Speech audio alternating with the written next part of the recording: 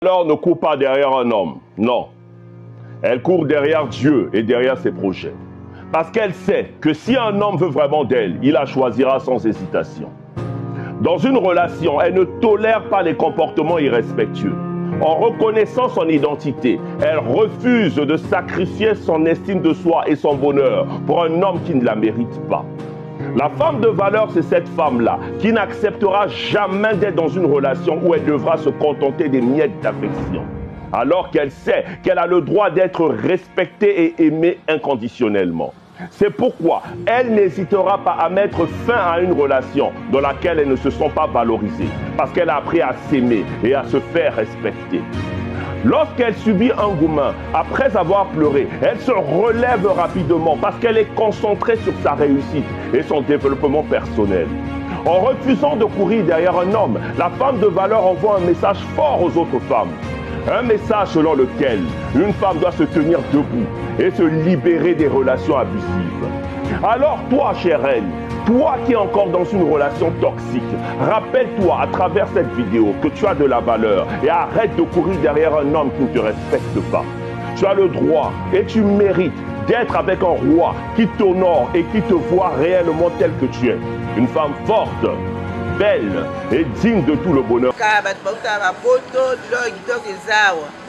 Eh, awa toza na nyonso tosepelaka na matoye kotala mama bijou tosepelaka mama bijou aza na baide ya malamu tosala makambo ya kitoko bato minene bazoya bapaya banini nyonso tu eza nango biso bakuluna bazalaka te toza kimia oyaka nde bozomona eza epa mwa ya poto tika de tika mama bijou toyambaka bato ya minene ya jete epuis mama bijo atiki biso te atie esu boutique atie boutique nyonso koluka ezali ezala parfum ezala dedora ezala masanga nyonso ezali chez mama bijou chez mama bijou soki oyo okolala kitoko eza te climatise courant wow nyonso ezali chez mama biju otaka bato bauta bipai na bipai bayonse retrouve pa mama biju pa mama biju kitoko wapi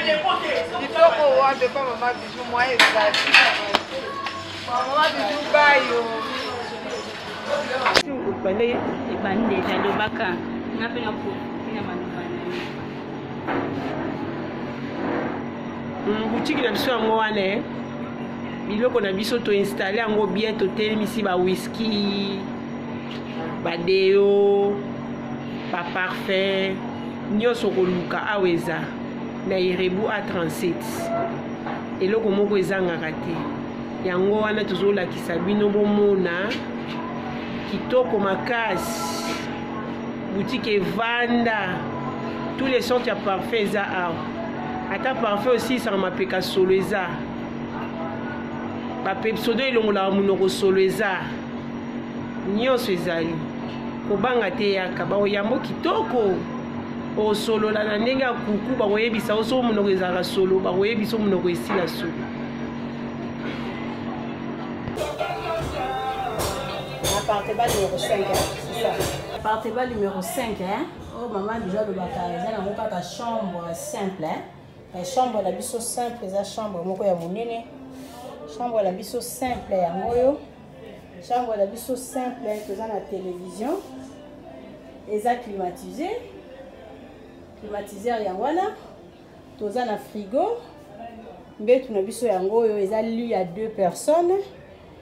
totiaka mwa kiti moko awa soki mpo olingi mwa mesa bakotiela yo table awa soki mpo olingi balongola kiti oyo yo kaka appartement na biso yango eza propre makasi eza appartement ya 20 dollars par jour donc chambre simple ya deux personnes soki mpo bolingi bokota 3 kaka bino parce que espace eza monene tokoki kotia mwa éponge awa na se epuis na ntongo bolongoli éponge appartement de 20 dollars par jour chambre na biso eza très propre eza très classe mama deja lobi bosala nga confiance bozala jamais lusi toza kobundana kaka mpona bino mpona bosala basejour na bino ya malamu kosala sejour ya malamu na appartement na biso euh, appartement bidor bijou dor eza na matonge na irebu a 37 oyo eza chambre simple tozalaka mpe na bachambre salon cuisine toza mpe na deux chambre salon cuisine mama bijou alobi boconfie na biso